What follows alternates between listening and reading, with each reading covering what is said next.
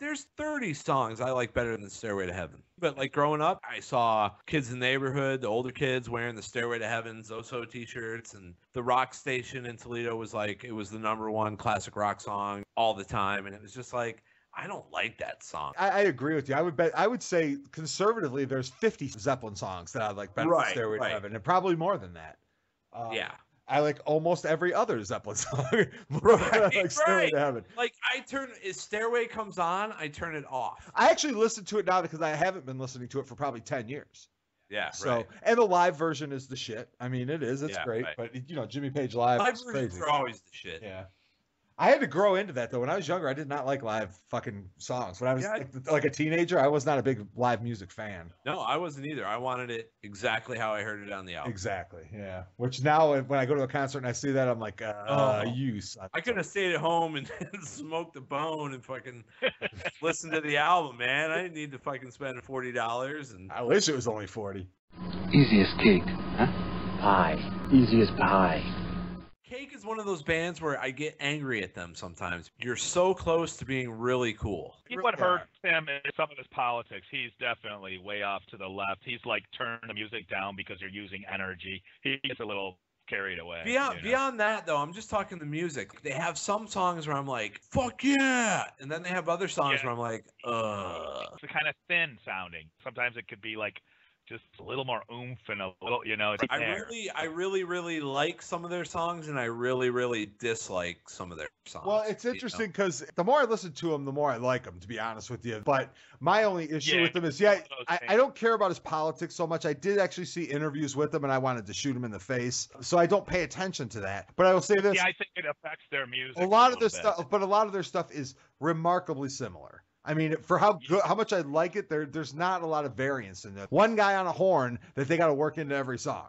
It's it, right, Yeah. right. you know, it's it, I don't not that it's bad. Yeah, definitely. Um, and I love them, you know, and it's, I, you know, the criticism I'm giving them is, you know, from a fan's point of view. I, I, I think they could thicken up the sound though some, and I, and I don't think they will.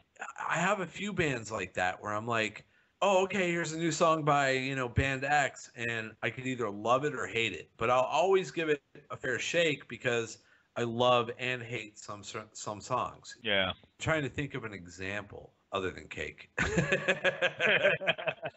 uh, Third Eye Blind. Did you ever uh, listen to those guys at all? No, I turned to thirty or deaf to them. They, they had, they had a couple really good songs. Don't know, you dare gloss over that. That was fucking good for spur of the moment, you bastard. It wasn't written down. It wasn't. Just like that. That's how I'm going to become a star. One line's gonna do it, eh? Well, you know, one line at a time, basically. uh, there, there you go. One of them will hit. He'll fix it in post. I'll fix it in post, motherfucker.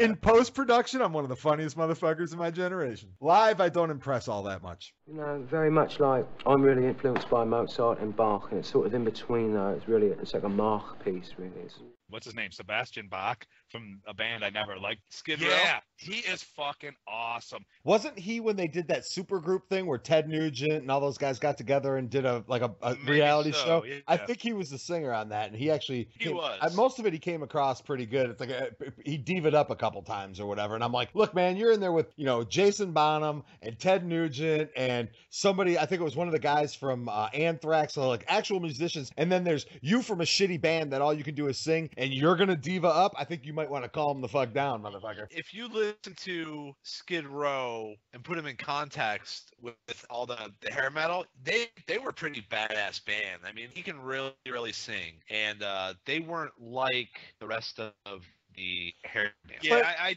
I don't need probably even know more than one or two songs. You know, I, I definitely lump those guys all together. So. Right, right. He plays this fucking song. That fucking was jamming. Well, this but this listen to was what- uh, listen- really edgy guitar and hard, and I was just like, it wasn't like a hair band. It sounded all. JD wants to bust me on something.